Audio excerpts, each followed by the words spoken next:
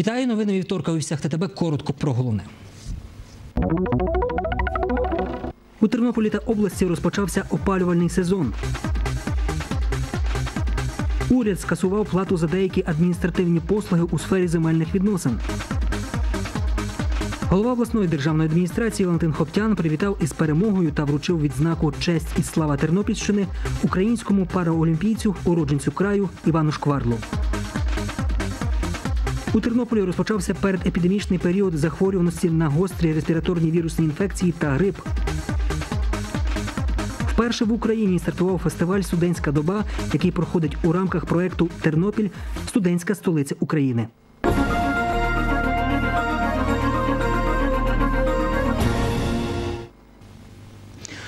В Україні збільшуватиметься оборонне замовлення. На цьому наголосив Віктор Янукович під час наради з питань розвитку оборонно-промислового комплексу.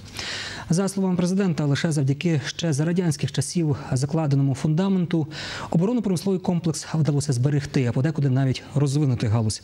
Щодо оборонних підприємств, глава держави зауважив, по кожному з них необхідно відпрацювати план розвитку та реструктуризації.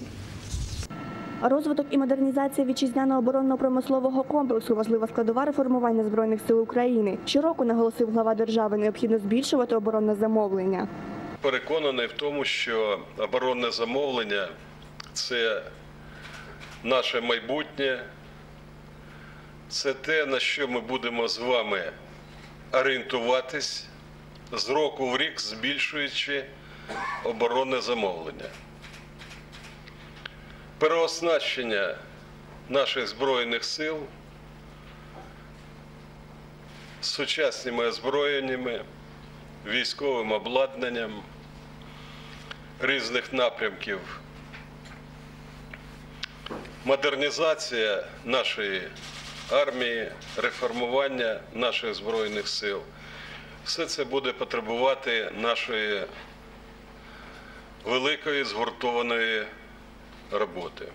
Кожне з підприємств ОПК потребує розробки окремого плану розвитку або реструктуризації, переконаний глава держави. Це неможливо без розвитку економіки та нових підходів у промисловій політиці.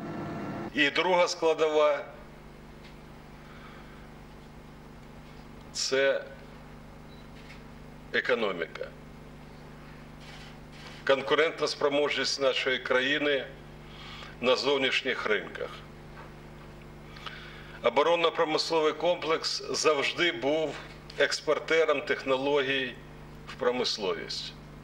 Конкурентність на світових ринках вітчизняній оборонній продукції надасть запровадження сучасних наукових розробок, зауважив Віктор Янукович. Президент запросив учасників наради до співпраці задля ефективного розвитку українського ОПК.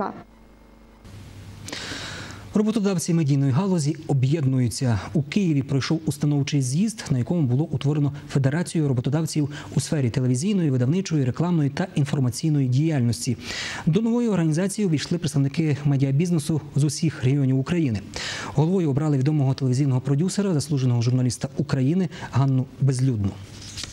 Головне завдання новоствореної федерації роботодавців медійної галузі посилити медіа як галузь української економіки. Для федерації однаковою мірою важливо, щоб розвивалися як телеканали, так і радіостанції, видавництва, інтернет, змі, рекламні агентства, зазначила Ганна Безлюдна. Адже рахуватись будуть лише з економічно незалежними засобами масової інформації. С медиа должны считаться. Медиа – это бизнес. Мы должны бороться за свои бюджеты, за свое будущее. Мы должны бороться, чтобы мы не были обслуживающим персоналом на выборах или в период между выборами, чтобы это действительно были предприятия, которые не менее значимы, чем э, те отрасли, которые ну, стереотипно воспри- э, воспринимаются как бюджетообразующие. Медиа – это э, одна из отраслей экономики, которую нужно поддерживать, которую нужно регулировать, которую нужно развивать и которая на самом деле дает рабочие места, дает новые бизнесы, дает новые импульсы к развитию вообще экономики Украины. Делегати з'їзду підтримали об'єднання Федерації роботодавців медійної галузі до Федерації роботодавців України, яка нині об'єднує близько 8,5 тисяч підприємств, що створюють 70% ВВП України.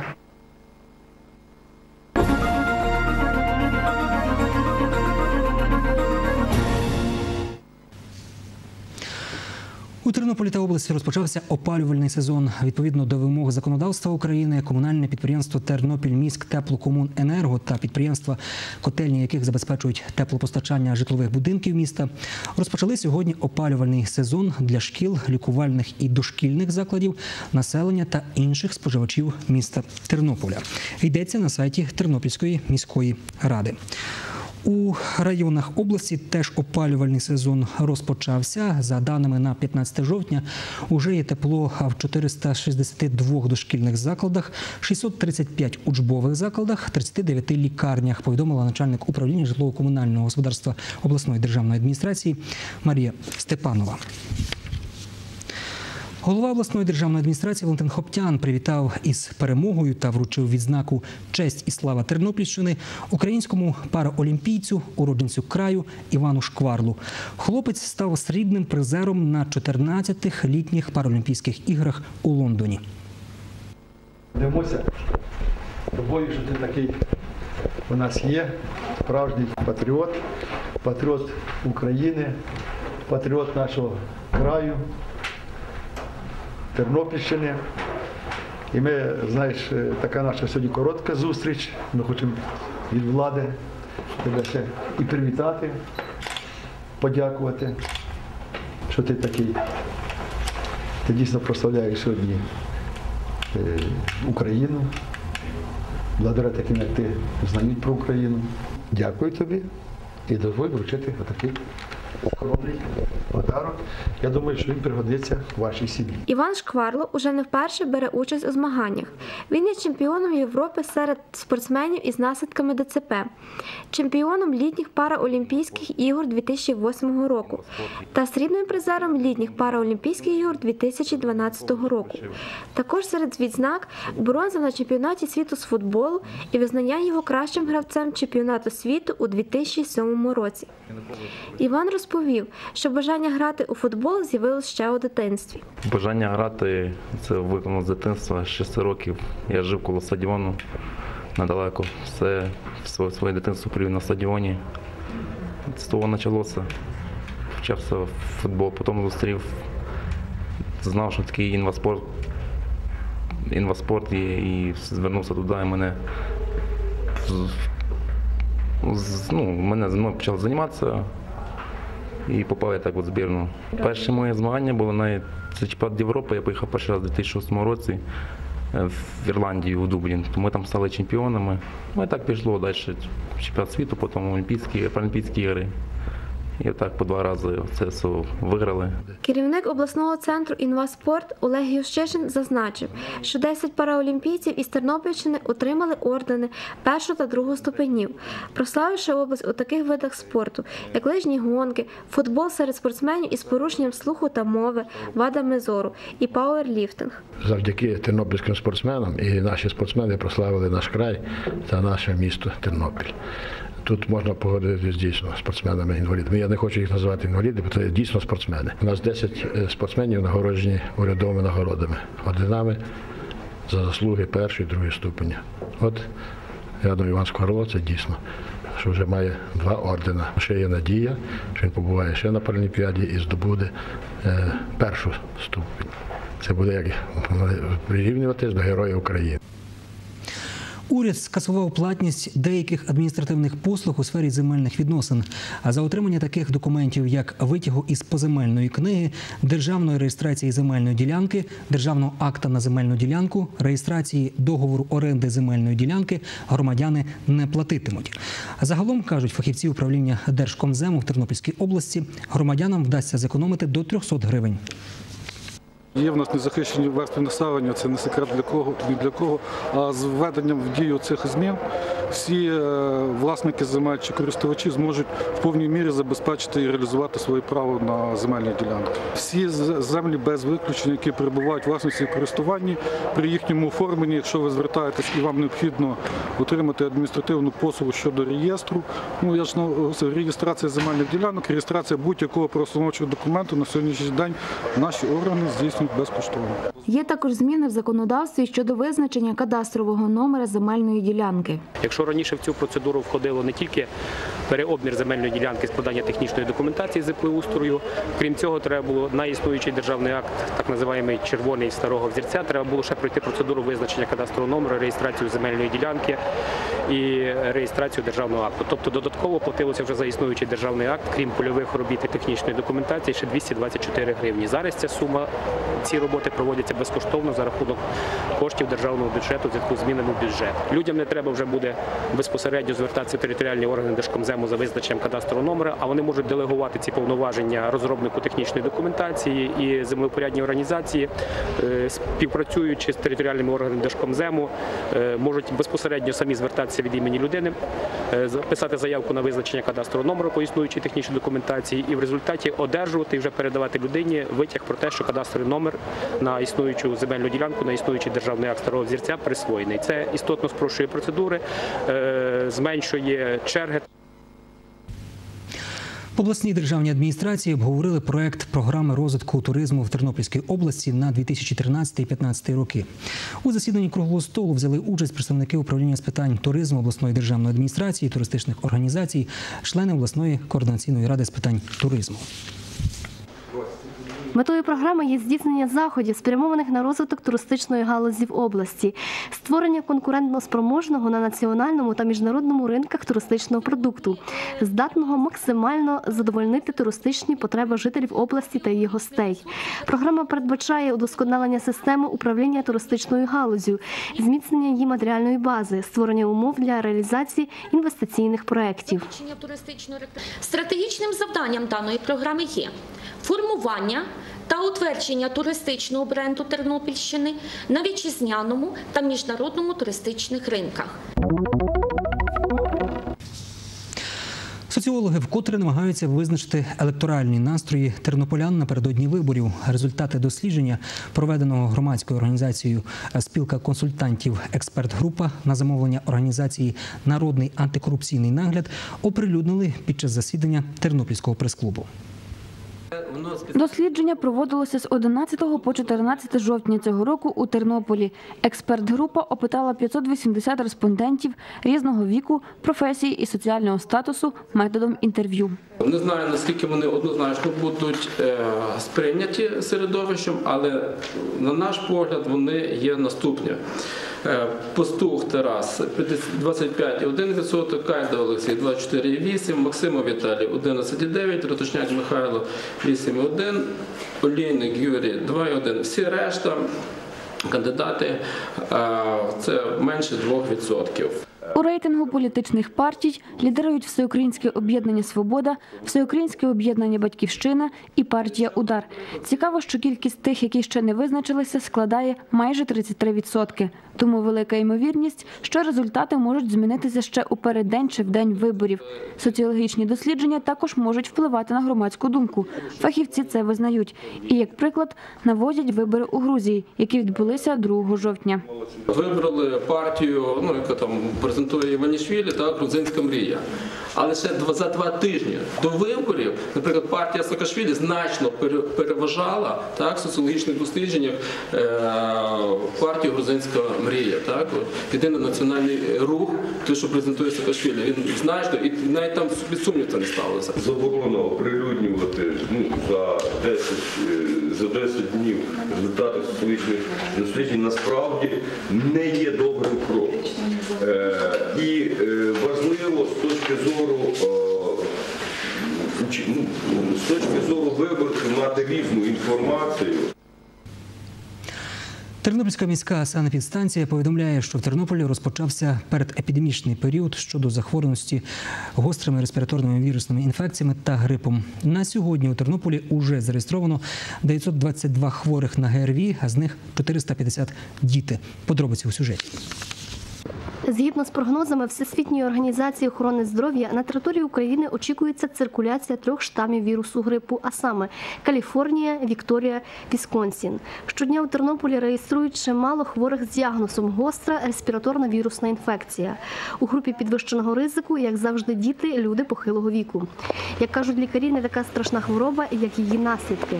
Основним методом профілактики це, звичайно, ж є вакцинація. І вже за попередніми даними, в середу, завтра в Тернополі в аптеках буде вакцина. Більшість аптек це працюють під замовлення. Є аптека, де буде вакцина, ціна близько 80 гривень. Лікарі міської санепідемстанції застерігають, нинішні погодні умови сприяють активізації вірусів. Населенню варто звернути на це увагу. Незайвим було би вживати імунопротектори, ехінацею, китайський лимонник, женьшень, а також вітаміни групи С, які у великих кількостях містяться у шипшині, лимонах, капусті. І Якщо якісь симптоми турбують, зразу звертатися до лікаря. А так, можливо, якась народна медицина, гарячий чай там. Так. А щодо вакцинації? Я не знаю, негативно. Перше, що я завжди кожного ранку беру чайну ложечку меду. І я її не запиваю, тільки я її смокчу в ротовій порожнині, щоб вона сполучалася з слюною. Бо слюна наша має ферменти такі, які сполучаються з медом, і вони дуже тоді корисні. Такими народними методами ви запобігаєте захворіти. А так стараюся ну, побільше вітамінів їсти, яблука, овочі. Отак зберігаюся. А щодо щеплення?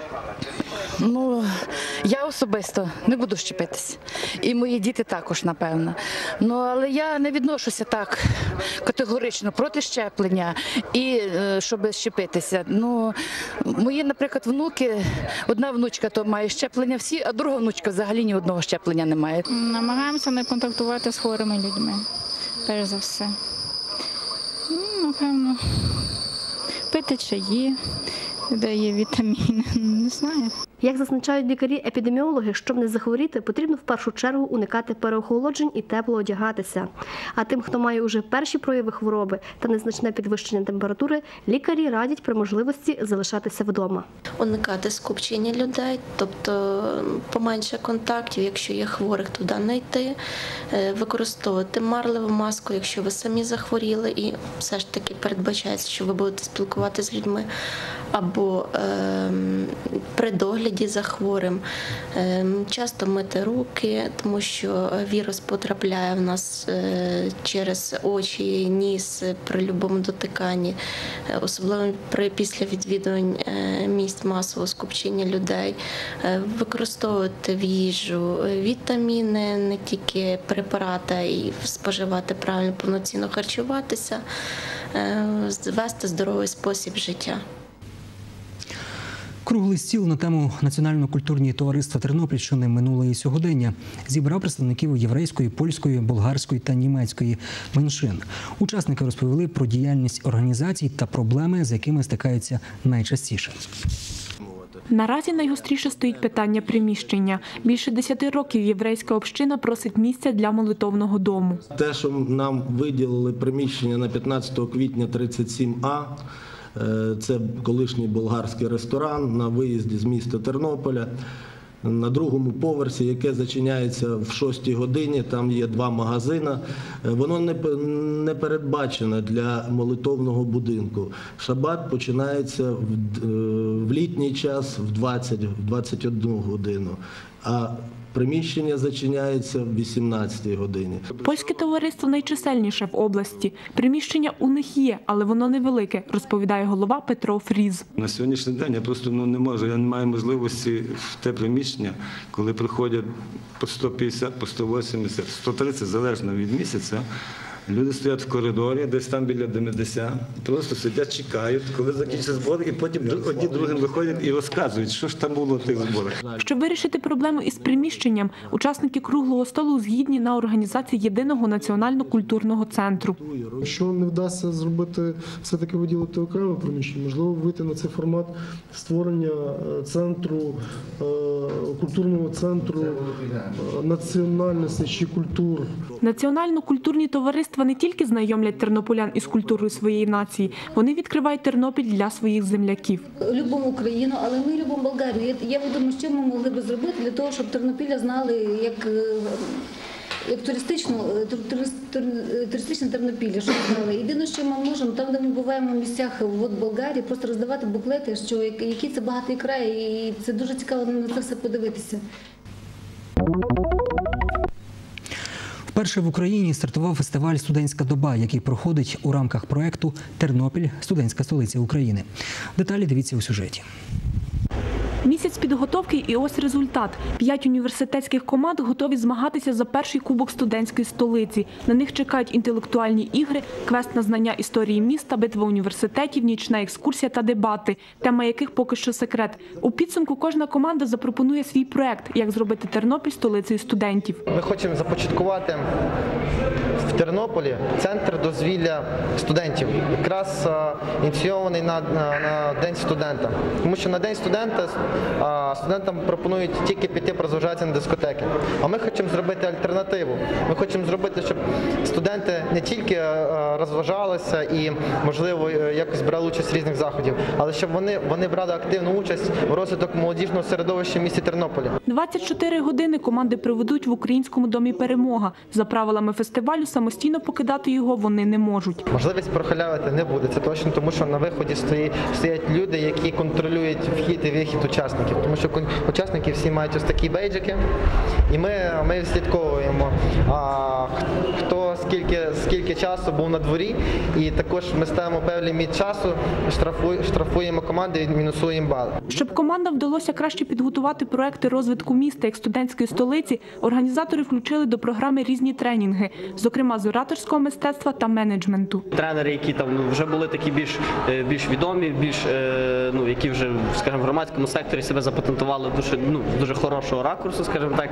Е, Будуть також запрошені гості ну з влади, які розказуватимуть не тільки там ну, е, ну тренери розказують про те, як будувати, як планувати, а вже влада розказує про те, як вже робимо і будемо робити надалі. Студентські команди налаштовані на перемогу і готові не тільки вистояти добу, але й показати найліпші результати. Як будуть боротися за перше місце, вже вирішили. Насамперед це підтримка командного духу, щоб один одного підтримували, е, взаєморозуміння насамперед. Просто якщо ми не будемо сваритися, я думаю, нам хватить, нам хватить сил і все буде добре. На цьому будьте здорові. До зустрічі в ефірі.